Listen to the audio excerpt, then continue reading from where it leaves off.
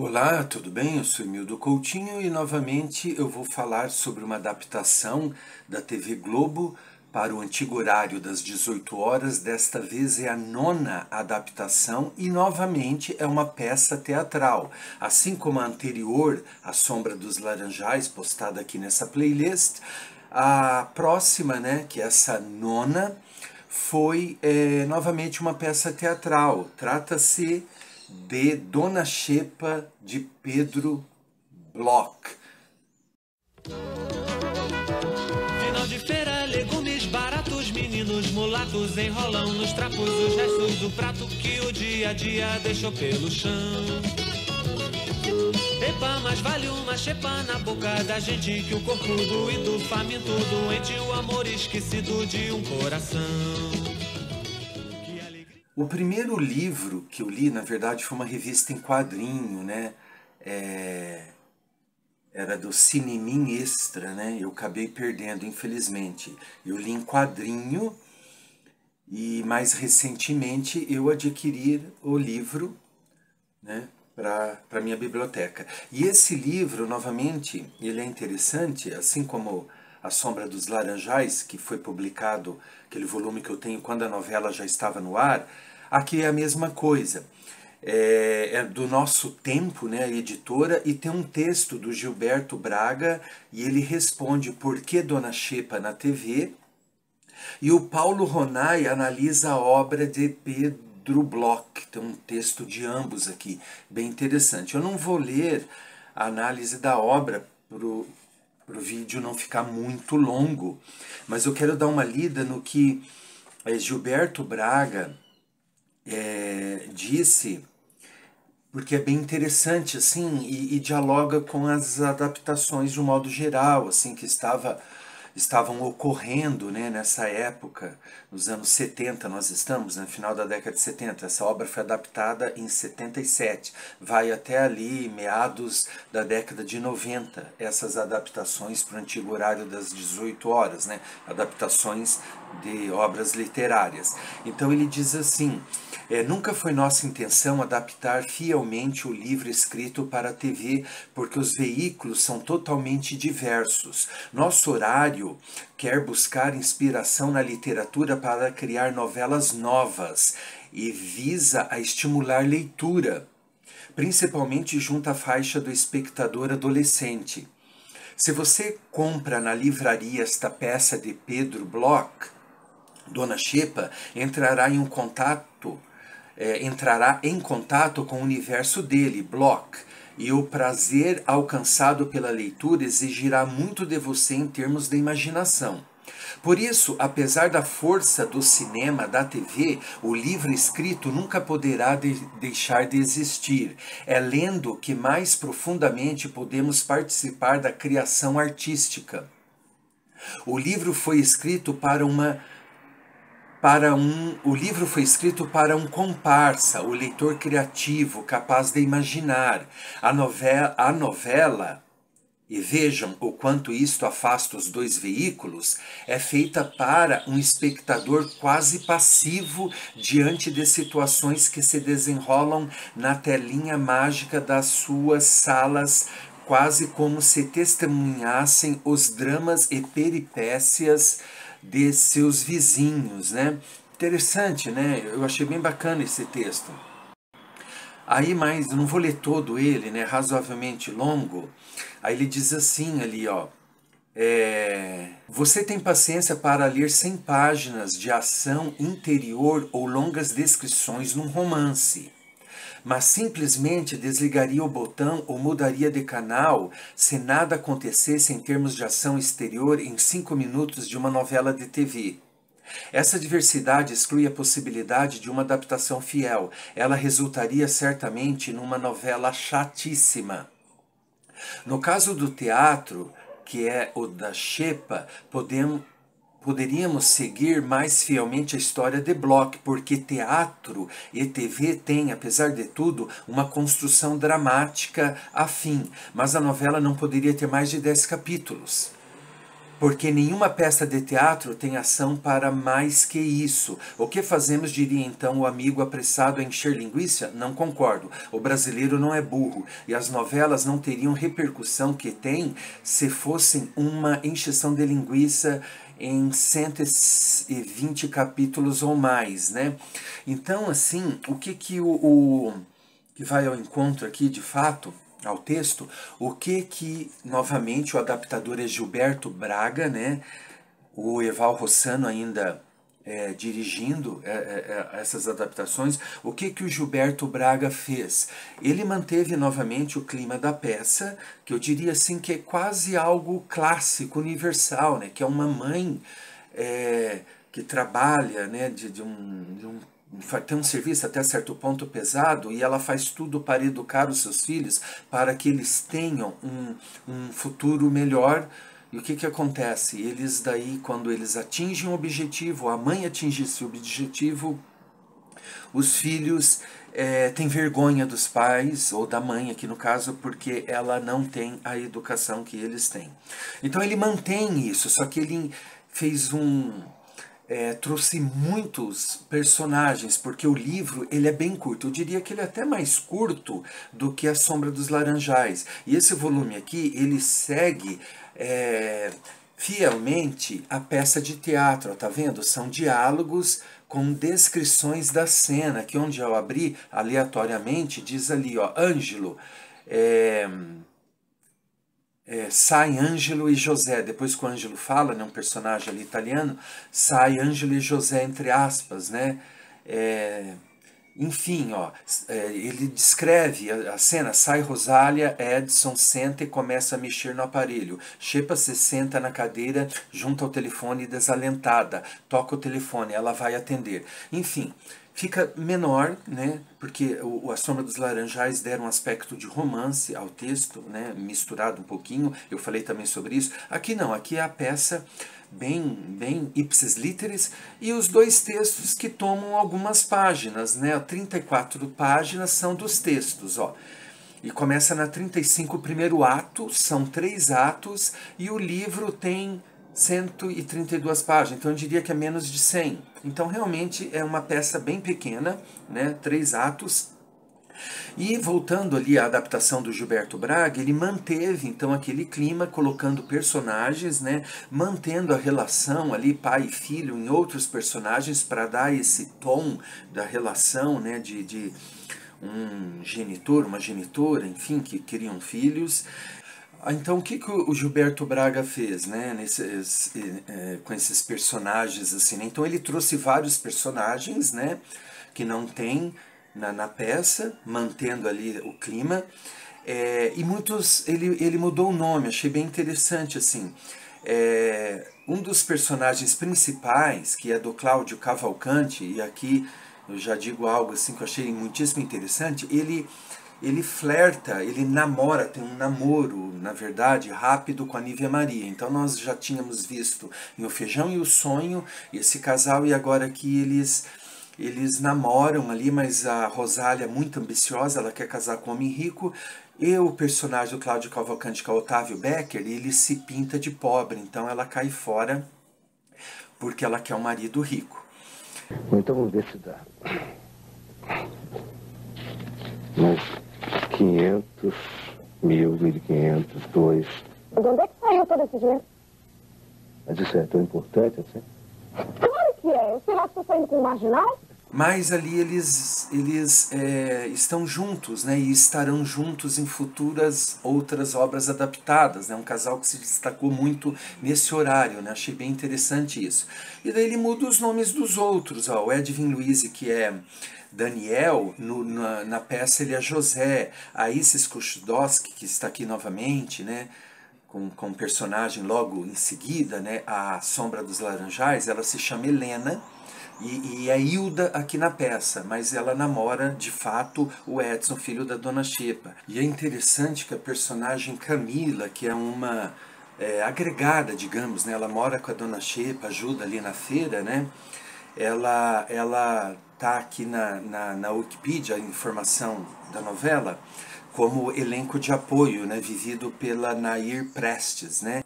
o personagem Ângelo, né?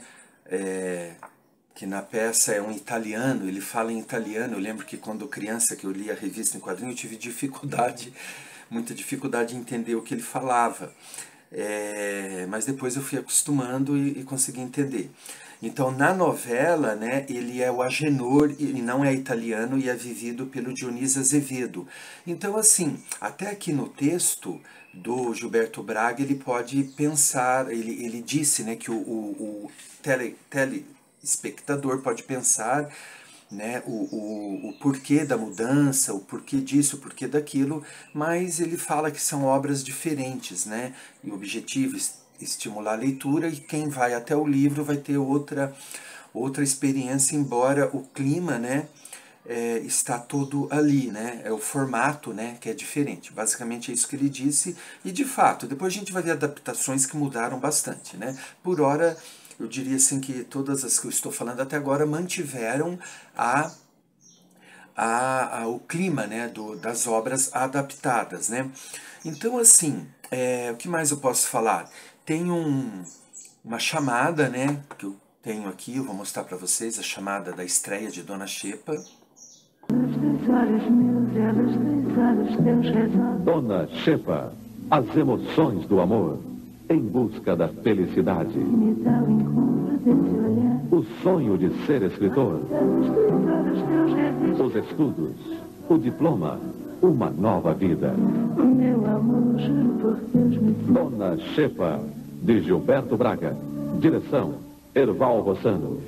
Estreia, terça-feira, dia 24, 6 horas da tarde. A luz dos olhos meus, na luz dos olhos teus, sem mais lá. Então, no elenco, né, o que, quem mais eu posso dizer? Aparece Ana Lúcia Torre, né, que vai fazer outras outras novelas, né, do horário. Novamente a Fátima Freire, né, é, a Ângela Leal, que vai fazer também outras coisas. O Reinaldo Gonzaga, né, que é o Edson, né, também vai fazer outras coisas no horário. A Zeni Pereira, né, que é Corina, a amiga da dona Xepa, né, ela uma atriz muito boa, né? Eu lembro que era criança, eu não, assisti toda essa novela. Depois foi reprisada, na verdade, daí eu assisti na reprise, mas eu não lembro, assim, dos detalhes. Mas eu lembro de cenas com a Zeni Pereira e a Yara Cortes memoráveis, assim, de briga, sabe? Mas muito, muito, muito boas as cenas. Oxa! Você vendeu bem? A corrida foi melhor do que eu esperava, viu? Que com esse sol, minha filha, pensei que as madamas fossem tudo tostar aí na praia. Mas deu pro gasto. Olha, não se esqueça que amanhã você tem que pagar a licença, hein? Truça, eu vou esquecer isso. Não, minha filha, Deus ajudou, o dinheiro vai chegar assim. Zeni Pereira, eu diria que é uma das melhores atrizes brasileiras, assim, na minha concepção. É... E a Patrícia Bueno, né, vivendo Giza Pires Camargo, né, novamente. Tem, temos aqui João Paulo Aldor, né, que vai viver também, vai, outros personagens do horário. É, a Nilza Borges, né, vivendo Rosemary. E o Castro Gonzaga, né, muito presente nesse horário. Osmar, né, que ele tem no livro, é o pai da, da, da Rosália, né, mas é, é, ele tem outro nome na peça, que eu não lembro agora. Enfim, e é interessante, assim, eu encontrei antigamente, né, nessas capas de revistas, assim, as revistas, enfim, né, matérias, é, encontrei, né, bastante coisa falando sobre a novela, e posters, né, que tinha na época, essas revistas traziam posters, que muitas moças, principalmente, colavam nas paredes dos personagens, assim, ó, isso aqui são os posters de algum, alguns do, do elenco, né? Então é a trilha sonora, né? É, tem uma trilha sonora própria. Eu tô com medo de colocar músicas aqui porque o YouTube tá tá é, Sim, eu tô tendo problema com direitos autorais, mas eu tenho um vídeo anterior que eu vou retirar sobre Dona Xepa e ali deixou passar a música de abertura e eu vou colocar aqui, né? Talvez toda abertura, caso ela suma, é porque ou fique sem som, como aconteceu com o Feijão e o Sonho, eu deixei a abertura, mas é, ficou sem som. Então vou tentar ver se vai dar certo, eu vou colocar aqui a abertura. Machixe, quiabo, cenoura e macaxeira. Tomate graúdo, machixe, quiabo, cenoura e macaxeira. É pai e mãe de amor bem profundo, de dois rebentos que botou no mundo. A vida deles há de melhorar. Dona Xepa é tinhosa, vai brigar. Pois o trabalho quase não lhe cansa, nem mesmo a língua lá da vizinhança. Ela trabalha até se arrebentar. Dona Xepa não vai descansar. Ela trabalha até se arrebentar. Dona Xepa não vai descansar. O filho doutor fazendo carreira, a filha vivendo bem longe da feira. Um sonho difícil, que coisa mais bela, parece enredo de uma novela. O filho doutor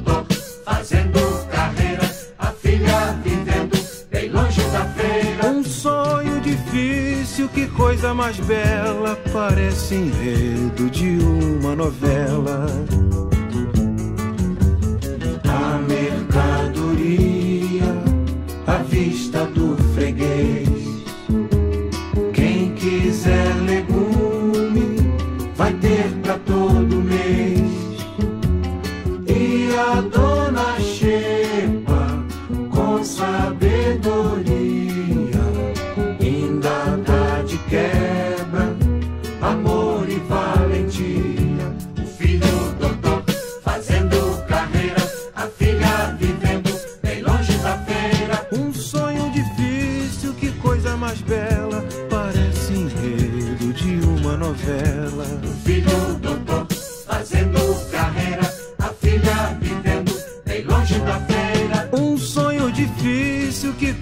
Mais bela, parece enredo de uma novela. O filho doutor fazendo carreira, a filha vivendo bem longe da feira. Um sonho difícil, que coisa mais bela, parece enredo de uma novela. Então é isso, né? É, Dona Xepa, na verdade, também ela foi muito adaptada. É, a própria Globo adaptou é, para o horário das 19 horas, chamada Lua Cheia de Amor. Eu lembro que eu vi algumas cenas e falei, mas isso aqui é Dona Xepa. Porque mudou o nome, mudou a profissão da Dona Xepa, mudou tudo tudo, tudo, tudo, mas eu consegui perceber que era Lua Cheia de Amor. O teatro, enfim, né, fez a encenação, né, montagem dessa peça várias vezes, e a Record também, né, fez uma, uma versão em 2013, né, com a Ângela Leal, que já havia atuado aqui em Dona Xepa. Lá ela viveu, é, é, a- a- fez o papel principal. E antes que eu me esqueça, também uma coisa bem interessante nessa adaptação é que a Nívia Maria, quando ela viu que ela ia é, representar mais uma mocinha, né? Ela já tinha feito outras coisas, nas adaptações ela tinha feito Gabriela, né, uma mocinha, enfim, lá dos anos 20, na Bahia, né, a Jerusa. Depois ela viveu a Moreninha, né, a Carolina da Moreninha, e viveu o Feijão e o Sonho ali, né, a, a, a Rosa, né, a Maria Rosa, e ela ia viver novamente uma heroína romântica, e ela não quis, ela foi até o diretor Eval Rossano, né, que depois, não sei se nessa época eles já eram casados, acredito que sim, que eles eram ainda casados, que depois eles se separaram, e falou que não, que ela queria viver algo diferente, e daí colocaram ela como Rosália, Rosália que é a antagonista, Rosália era bem, principalmente na novela, ela, ela era bem assim, não era uma boa pessoa, ela queria casar com rico, assim, e é bem interessante. Mais do que o livro, o livro não traz muito isso. O livro ela quer casar lá com um diplomata, tá lá, né, e acaba se casando de fato, mas na novela acontece muitas coisas típicas de novela e ela acaba se estrepando ali que ela casa com um pobre, um cara falido, que é o Rubens de Falco. né? Rubens de Falco, nós vimos ali na abertura, né, destacando a, a, atuação dele, né? E como personagens principais na abertura é interessante, por isso que eu coloquei na capa do vídeo isso, né? A Yara Cortes, a Nívia Maria e o Cláudio Cavalcante. Então é novamente né, o casal aí que vai vai fazer muitas outras coisas e vai ser a marca de uma certa forma desse horário, né? Então é isso, né? É, espero que vocês gostem. Nos vemos na próxima. Até mais. O destino de cada um no encontro com a verdade. Dona Shepa. Últimos capítulos. E vem aí, Sinhazinha Flor. Próxima novela das seis da tarde.